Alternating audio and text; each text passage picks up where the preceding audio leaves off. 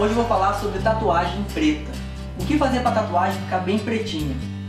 Tem gente que faz uma tatuagem, parece que ela desbota, ou às vezes faz uma tatuagem bem forte, parece que ela, ao passar do tempo, ela dá uma engrossada, dá uma inchada e espalha aquele traço, fica meio borrado. Como fazer para tatuagem ficar com a qualidade boa de preenchimento, um preto bem preto e o contorno permanecer sempre igual por toda a vida?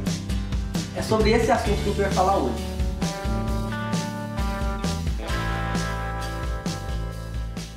Então, para tatuar a gente usa dois tipos de preto basicamente, além de existir outros tipos de preto também. Tem o preto tribal, que é só para preenchimento, o preto linha, que é só para fazer o, traço, para fazer uma coisa fininha, todo o contorno de uma tatuagem, e ainda tem agora o preto maori, que é um outro tipo de preto. Falar basicamente o preto tribal e o preto linha, que são os mais usados que tem.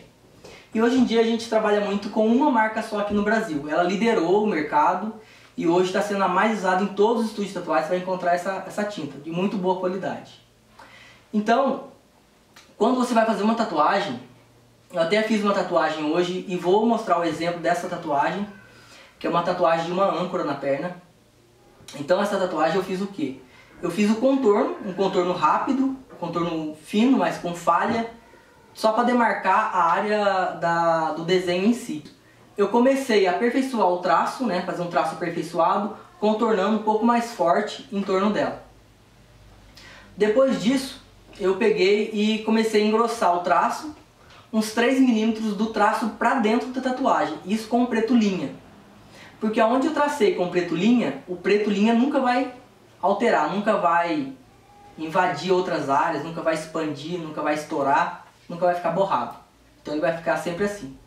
Depois que eu terminei essa parte de traço aqui que vocês estão vendo, o que, que eu fiz?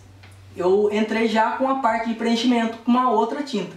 Joguei toda a tinta de preto linha fora e coloquei uma tinta nova com preto tribal.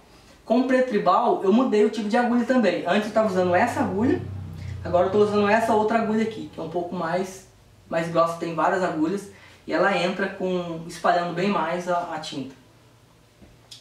Então o preto tribal ele vai entrar só na parte central da tatuagem, para que depois se ela tiver alguma falhinha, ela mesma consegue preencher a falha, porque ela é densa, ela entra muito densa na pele e vai espalhando. Assim ela vai preenchendo todos os espaços que tiver com falha. E vai ficando toda uniforme e bem pretinha. Bom, é assim que faz uma tatuagem.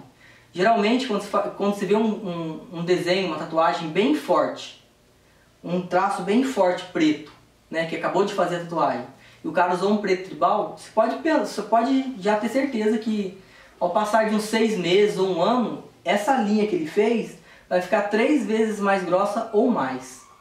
Então não, não é bom, não aconselho usar o preto tribal para fazer contorninhos, fazer nome, fazer alguma coisa, tá? Que ela sempre vai estourar. Bom, essa é a minha dica de hoje, espero que vocês tenham gostado. Quem gostou, compartilhe meu vídeo no Facebook, pode se inscrever no meu canal, né? É, programa Cristatu no YouTube. E, olha lá, pode mandar um SMS, qualquer coisa, eu tô aqui, é, o telefone daqui do estúdio também é 3621 1880, tá? Manda um like lá se gostou também e não, não esqueça, inscreve no meu canal. Até mais.